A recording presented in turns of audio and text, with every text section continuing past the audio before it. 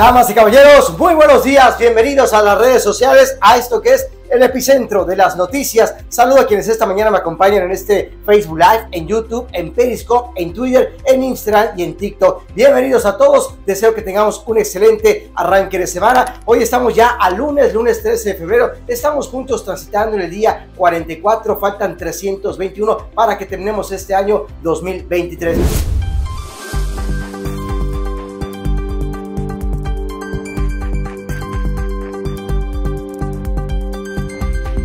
¿Qué le parece si entramos inmediatamente con las noticias de esta mañana? Comenzamos en el reporte de la información meteorológica. Esta madrugada, el frente frío permanece estacionado o semi-estacionado al sur de la península de Yucatán sobre Belice, causando aún estas bajas temperaturas. Por ejemplo, hoy, hoy media amaneció con una mínima de 14 grados, provocado por la masa de aire frío que impulsó este sistema frontal número 31, que desde hoy comienza a disiparse, dando paso a un anticiclón que estaría predominando con cielo totalmente despejado. Fíjese, los metrólogos están advirtiendo que de forma drástica tendremos ahora un cambio radical en las temperaturas. ¿Esto qué quiere decir? Que en las próximas 72 horas tendremos calor extremo. Esto indica que esta misma semana, tal vez a partir de este miércoles, tendremos la llegada, la entrada de viento del sureste, suradas, que podrían provocar temperaturas por arriba de los 36 grados. Así que prepárense porque viene una semana extremadamente calurosa a partir ya de este miércoles.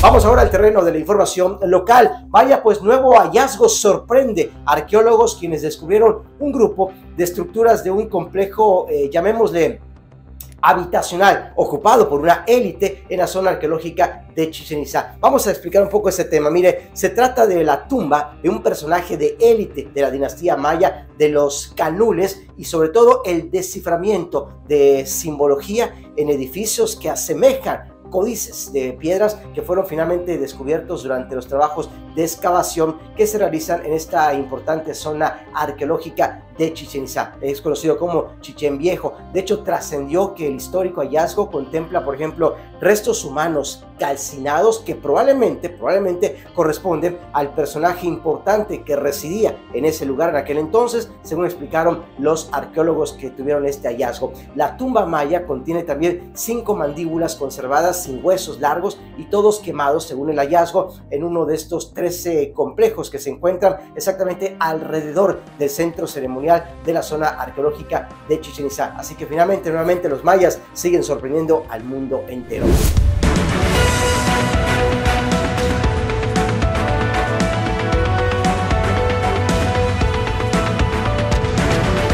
Vamos a entrar en materia con la información. En el terreno de la noticia internacional, aviones de combate de los Estados Unidos interceptaron y derribaron a 40 mil pies de altura a tres, tres objetos voladores no identificados por representar, por supuesto, una amenaza a la seguridad de vuelos civiles. Primero, recordemos que primero fue en Estados Unidos quien detectó la violación en su espacio aéreo y el peligro en vuelos comerciales. Y luego fue Canadá quien también eh, detectó y derribó un objetivo y ayer domingo se destruyó el tercer objeto volador no identificado, sin aún abundar en detalles de qué fue lo que, lo que localizaron, qué fue lo que encontraron, vaya, qué fue lo que vieron y destruyeron. La información es muy reservada por parte de Estados Unidos, sin embargo, oficialmente solo se sabe que el artefacto fue detectado por el Comando Norteamericano de Defensa Aeroespacial, un organismo eh, formado por Canadá y Estados Unidos, y destruyó esta nave, al parecer no tripulada, en el territorio del noroeste del país eh, fronterizo con Alaska. Así que vaya, pues este suceso ocurre después de que, insisto, Estados Unidos derribara, recordemos la semana pasada, un objeto volador desconocido que sobrevolaba Alaska y que tumbaron también un globo de origen chino que presuntamente fue usado por Beijing para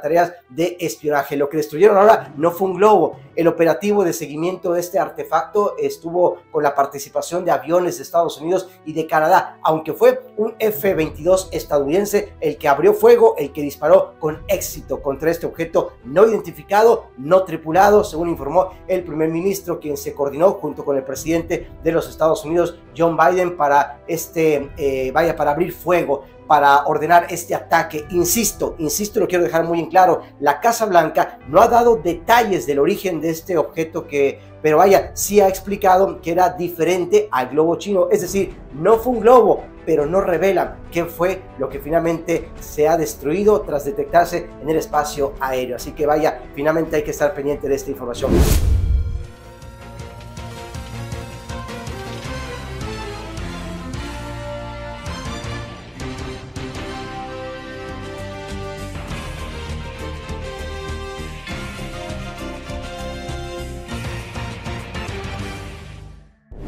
Terreno nacional. Llegó a México el presidente de Cuba, Miguel Díaz Canel, quien se reunió con el presidente López Obrador en Campeche este fin de semana para tratar temas de medicina y de salud. Llamó poderosamente la atención que el presidente de México, López Obrador, le entregara a su homólogo de Cuba, Miguel Díaz Canel, la condecoración de la Orden Mexicana del Águila Azteca. Es un grado de collar en medio de las críticas de la oposición que han acusado, han señalado, han criticado al cubano de ser responsable de la crisis de derechos humanos ahí en la isla. Durante su discurso, el presidente de México, Andrés Manuel López Obrador, reiteró su llamado enérgico al gobierno de Estados Unidos a levantar el bloqueo a la isla, al que calificó, dijo textualmente, que es algo injusto e inhumano. Más temprano, finalmente, ese día, el Partido Acción Nacional, el PAN, reprobó que el gobierno del presidente López Obrador estuviera entregando a nombre de todo el pueblo mexicano al presidente de Cuba la Orden Mexicana del Águila Azteca, esto que le comentaba yo al principio, que es considerada la más alta distinción de México. Aseguran que finalmente Cuba no se lo merece.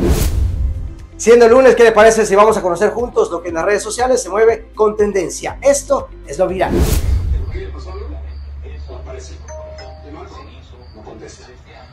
Seguramente está con su sobrina. Cuando esas dos están juntas, se les olvida el mundo. Es la 8C. 8C. 8C. Gracias.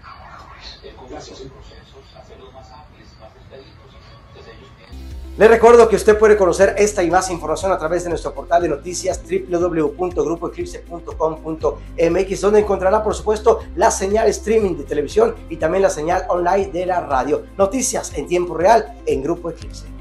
Damas y caballeros, estas serían las tres noticias más importantes para comenzar esta mañana de lunes. Soy Antonio García, agradezco como cada mañana la alta distinción de saludarles, de que estemos juntos aquí en las redes sociales a través de este canal de noticias en YouTube, en Twitter, en Facebook y en TikTok. Usted lo sabe, nos vemos, nos escuchamos y nos leemos aquí en las redes sociales. Excelente arranque de semana, ánimo, buenos días.